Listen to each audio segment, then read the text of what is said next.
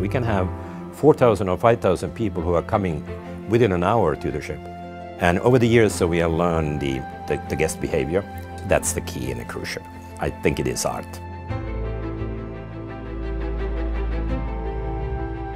This ship here, we have 24 passenger elevators and we have 16 crew elevator or service elevators. We have been doing over 10 million starts and they just keep running day and night. Of course, preventive maintenance makes that possible.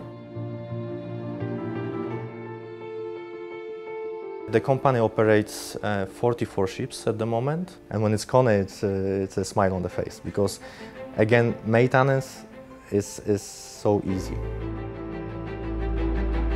It's very unique that two corporations or three corporations work so long and so closely with each other, and we can see the outcome.